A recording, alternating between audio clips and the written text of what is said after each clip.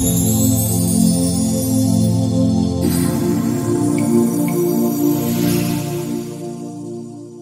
19-year-old of a teenager who took his own life in Polmont has also died. Chloe Brown was the elder sibling of William Lindsay, whose death sent shockwaves across Scotland last year when he passed away while detained. The 19-year-old woman died suddenly on Wednesday, with friends and family now fundraising for her funeral. Friends and family members paid tribute to the intelligent, smiling, friendly Chloe on social media, and are planning to hold a memorial event on Christmas Eve in her honor. They plan to release bubbles and throw flowers into the Clyde in memory of the young woman, and hope to raise £1,000 for her funeral service.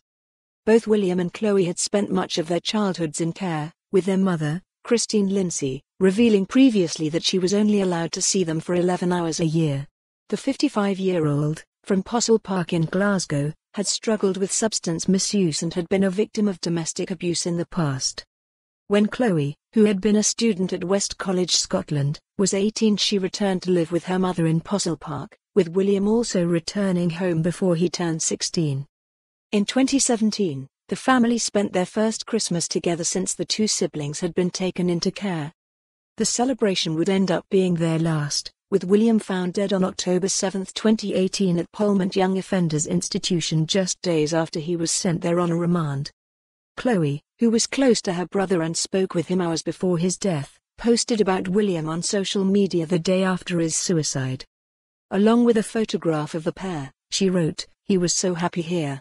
This doesn't feel real TBH, wish I could see you one more time. My baby brother, love and miss you.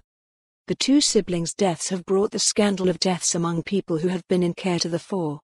Last year campaigners called for the deaths of those in care, or who have recently left care, to be officially recorded.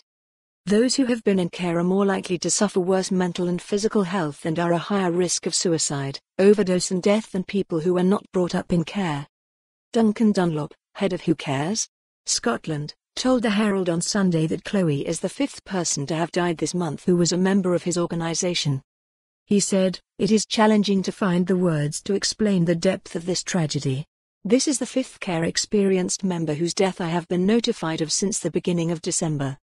Young people who are loved, understood and feel like they belong do not die at such a rate and in such tragic circumstances.